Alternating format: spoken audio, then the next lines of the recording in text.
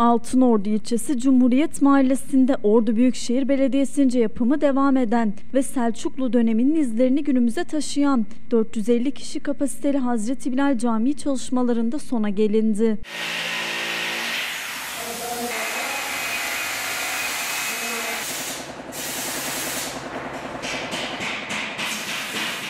...1200 metrekare alan içerisinde 220 metrekare zemin üzerine inşa edilen 450 kişi kapasiteli camide son imalatların gerçekleştirilmesiyle birlikte çalışmaların tamamlanması bekleniyor. İç cephede Selçuklu mimarisinin ön planda tutulduğunu belirten Ordu Büyükşehir Belediye Başkanı Doktor Mehmet İlmi Güler, iç cephede Selçuklu dönemine ait ahşap oyma sanatının gösterildiği karo tavan imalatı devam ediyor. Tarihi dokunun izlerini yansıtan camide kapı, kolon kaplamaları, mihrap, minber, müezzin mahfili, merdiven, balkon, korkuluk ve ahşap pencere imalatları da gerçekleştiriliyor. Boya imalatı ve alttan ısıtma sistemi montajının yapılmasının ardından da halı imalatı gerçekleştirilecek diye konuştu.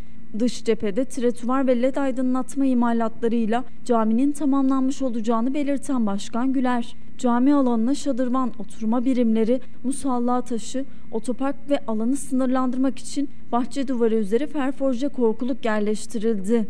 Alanda taban zemin döşemesi olarak traverten plak taş ve taban tuğla kullanılarak saf düzeni oluşturuldu. Dış cephe tuğlası üst kat merdiven imalatı tamamlanırken Selçuklu mimarisine uygun taş minare imalatı ise sona erdi. İç cephe ve elektrik imalatının altyapı çalışmalarının ardından dış cephede tretuvar ve led aydınlatma imalatıyla camimizi tamamlamış olacağız şeklinde konuştu.